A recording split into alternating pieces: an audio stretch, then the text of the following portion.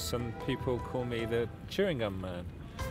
And for the last 15 years, I've been transforming discarded chewing gum, which is on the streets of London and beyond, um, into artwork. So it's taking thoughtless action, trying to transform it, hopefully, into something positive.